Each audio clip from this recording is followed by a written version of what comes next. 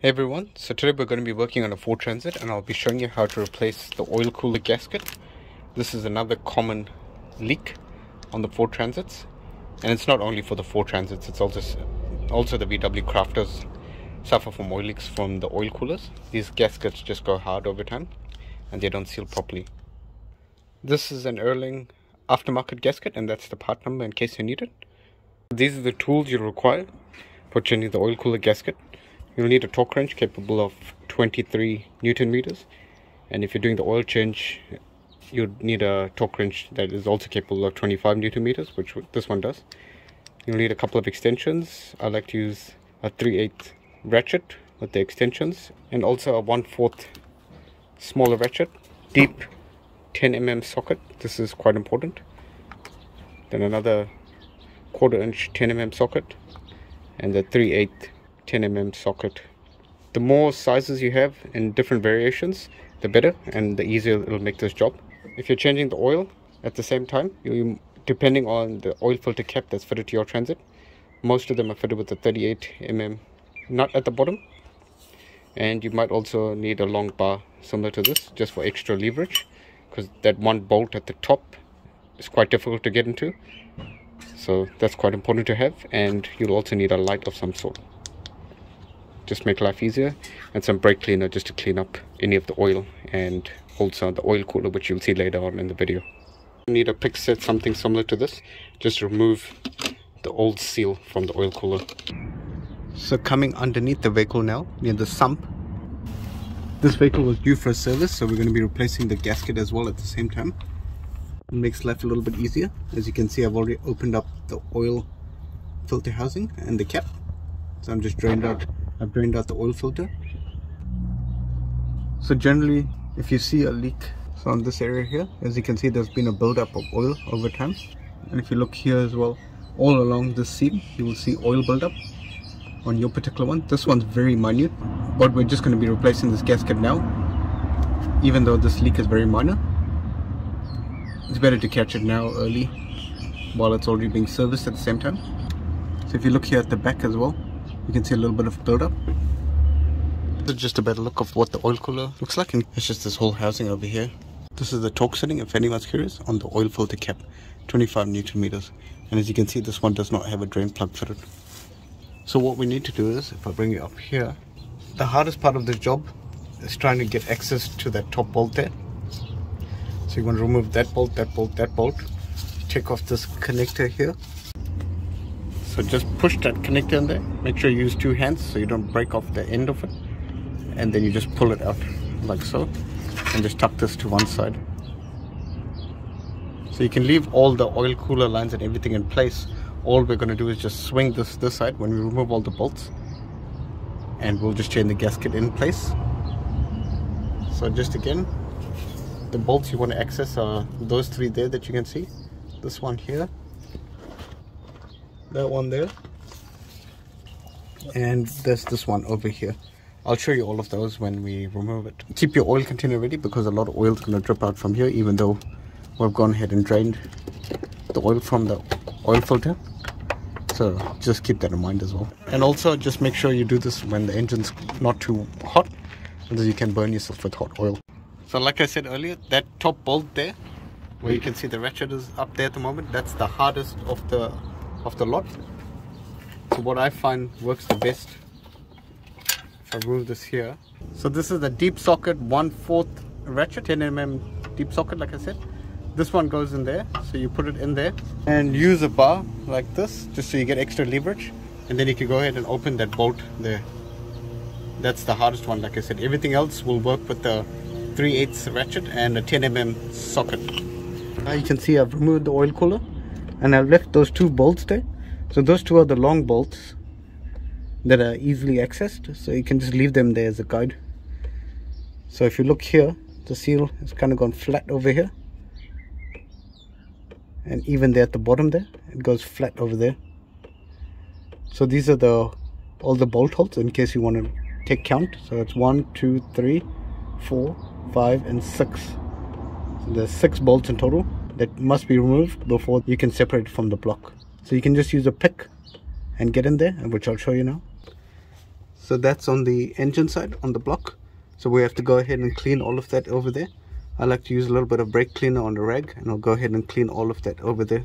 And as you can see here I've got my container ready. Oil is dripping from the oil cooler. So just make sure you don't forget that otherwise you get a lot of oil on yourself and that's probably the last thing you want so get a pick like this. Just get in there and pull it out. So just like that get in there. And you'll feel the seal is quite hard. And it just pulls out like so. So as you can see if I hold the gasket like this it's quite stiff. This one's not too bad. I've seen worse. If you just twist it like this they just crack. This one's not too bad. Most of the areas okay but the common fail points are just around here the lower points so I'll show you what the new one looks like. So if just for comparison if I just hold it like this it's quite stiff. And I'll show you what the new one will look like. And so this is the new seal. Whichever way I hold it you can see how rubbery it is and how flexible. So that's what you want to see. Like I said that seal that I just showed you wasn't too bad hence the reason why underneath when I showed you the initial leak it wasn't too obvious but from experience I know that they leak over time so it just makes sense to do them early on before it gets too bad. Like I said that's the part number in case you need it. And we'll go ahead and clean up that whole area then we'll fit this new seal. So make sure you get rid of all that old oil.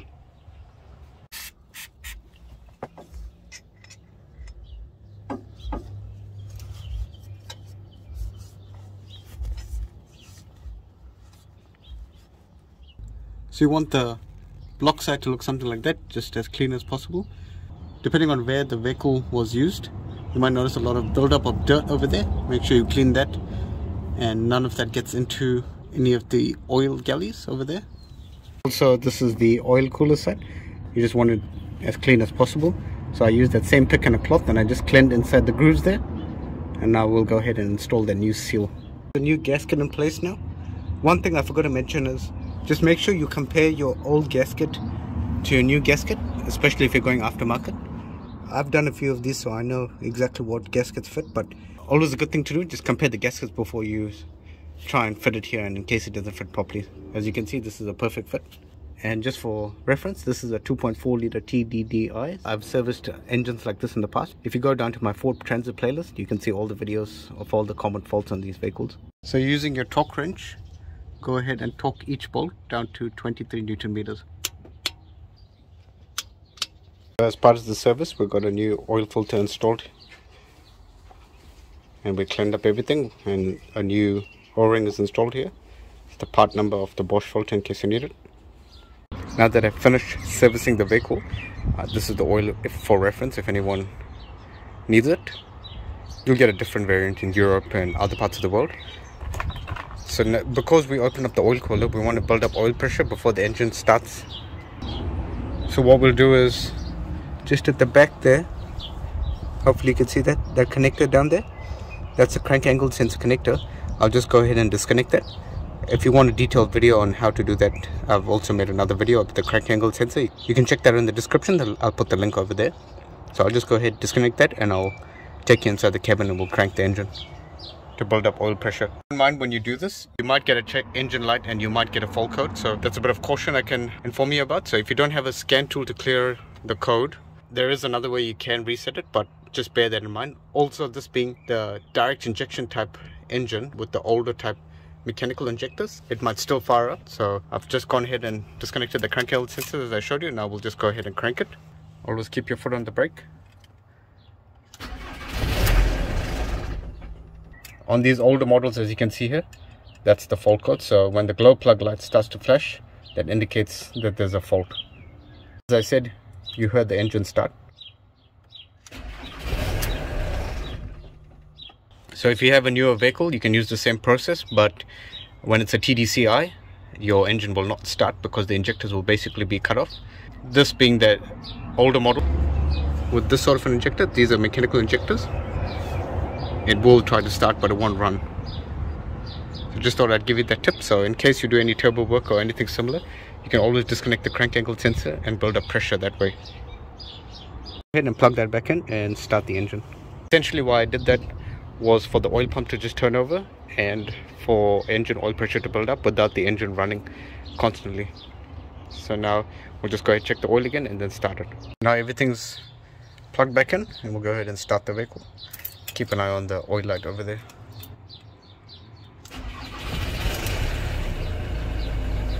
So essentially that's what you want to see. You want to see the oil light go out immediately. Or if you're starting it for the first time if it goes out within about two seconds that's also still fine. If you've just done a fresh oil change or done this oil cooler gasket change. So i hope this video was of some help to you. If it was please like and subscribe. And stay tuned for more interesting videos and other car related and camper related content. See ya